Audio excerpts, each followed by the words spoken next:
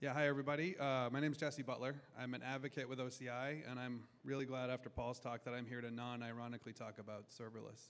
Um, thanks, Paul. That was cool. Um, but this, yeah.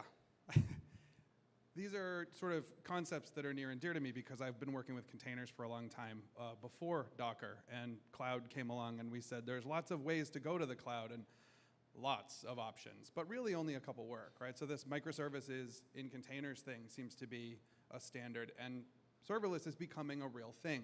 Even if you think it's just a buzzword, people are building really substantial, very large things. And no, it's not always simpler, but for developers, that's a really great workflow and the scalability story is pretty compelling. Um, so we see this slide a lot when we try to explain what serverless is. So it's a spectrum, right? It starts with Kubernetes and containers. It goes through Cloud Run into uh, your, you know, your DIY, you know, open source FaaS projects, and then finally the serverless. So everybody know what a duck test is? If it looks like a duck, walks like a duck, quacks like a duck, it's a duck.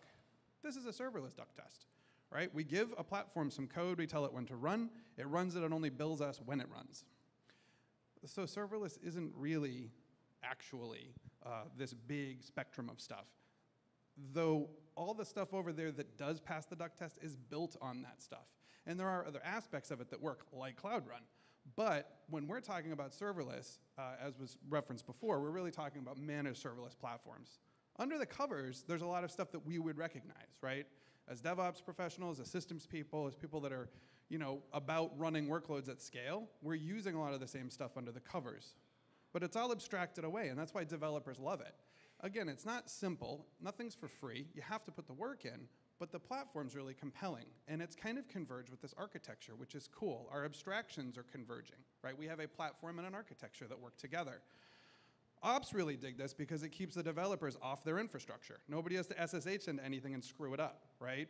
But also, you tend to have less, less dependencies, and I should say less unmanaged dependencies and the OpEx is, uh, is, can be really actually significant. But where does serverless come in? Because we see this like battle royale pitching, and I just don't buy it.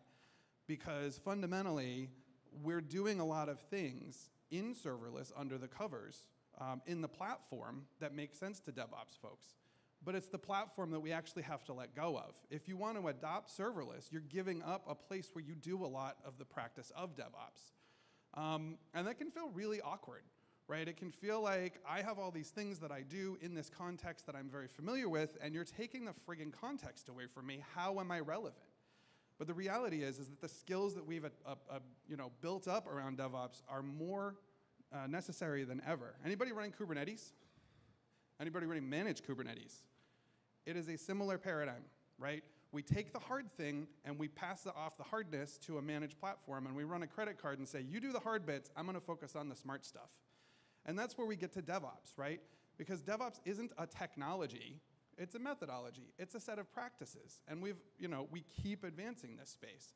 But DevOps in systems, especially complex distributed systems, is about learning from the system itself, pushing it to its bounds, maybe breaking it sensibly, learning from that breakage, applying the things we learn, putting it back in, just like Jordy did all the time, right? And so we see this battle that's pitching and it's really not real because serverless just becomes another tool, right? We have all of these tools we use. Serverless just has to, happens to have a, an architecture attached to it and it depends on this managed platform. But we use managed CI/CD, we use managed config management, right? So configuration management is especially important in serverless because once you deploy, you pretty much let go of any influence you have. So you actually need to pay attention to how much mass you add to something. Otherwise, you end up in, in big trouble. Observability is another huge thing that we need, right? Because if you think running Kubernetes at scale uh, gets you lots of log files, you ain't seen nothing. Um, we've established these kind of three pillars of observability, right, with metrics, tracing, and logs. You just get logging pretty much, uh, unless you're going to a managed service and unless you're applying everything else we've learned, and every invocation of a function gets you a log. So how about like millions and millions of them? Um, so we really have to apply a lot of that segmented, pillared sort of observability stuff. And these are just examples. These are just, you know, there's so many DevOps practices and principles that apply. There's no serverless DevOps. It's just DevOps. So keep DevOpsing and look to serverless as just another black box to offload some, some, uh, some toil. Thank you very much.